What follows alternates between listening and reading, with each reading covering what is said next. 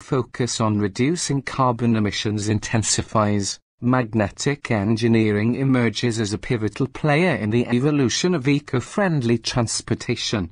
Looking forward, the integration of maglev technology with smart transportation systems presents exciting possibilities for the future of urban mobility. Imagine a network of maglev trains seamlessly connected to intelligent traffic management systems, offering commuters a fast, efficient, and environmentally conscious alternative to traditional modes of transportation. Such innovations showcase the transformative potential of magnetic engineering in addressing the challenges of urban congestion, reducing travel times, and enhancing overall transportation sustainability.